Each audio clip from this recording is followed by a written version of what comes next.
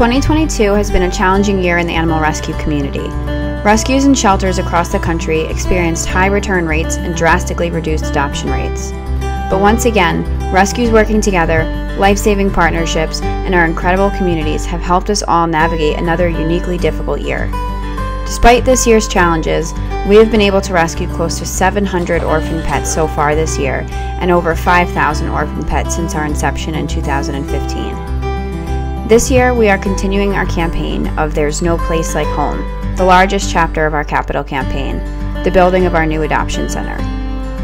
As construction comes to a close this holiday season, you will hear from our team about how we carry out our mission to rescue one by one until there are none, and about our dreams for the future. Giving Tuesday is a global day of giving that aims to transform the world through radical generosity.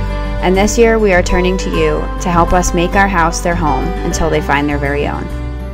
Together, we will make 2023 bigger and better for the pets in our care.